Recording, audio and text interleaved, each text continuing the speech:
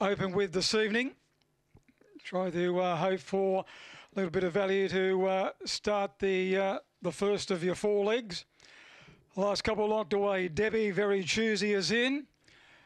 And they're all away. Green light, Bunny Travels, race five. First leg of the quaddy Bulli, favourite in the eight.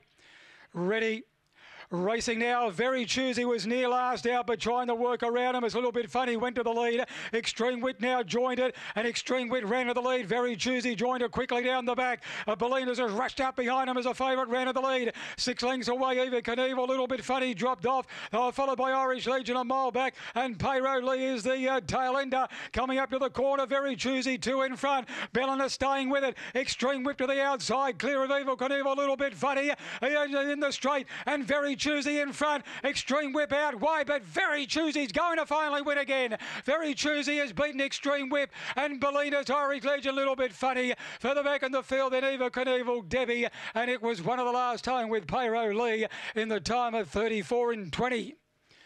Number eight, the winner, Very Choosey. Got a lovely run across at the first corner. Took over down the back and has finally been able to win race number two in 17 starts. Numbers are 8, 7, 3 and 4. 8, 7, 3, 4. Very Choosey by Jagger Swagger out of Zipping Venus. Raced by T. Whittington and G. Sprite. Trained by Mark as a party. Number 7, Extreme Whip second. Leslie Hannaford. Number 3, Bellina's third. Simon Marr. With number 4, Little Bit Funny officially fourth. 8734. 731 was the run home. The overall time of 34 and 20. 34 and 20 the overall time.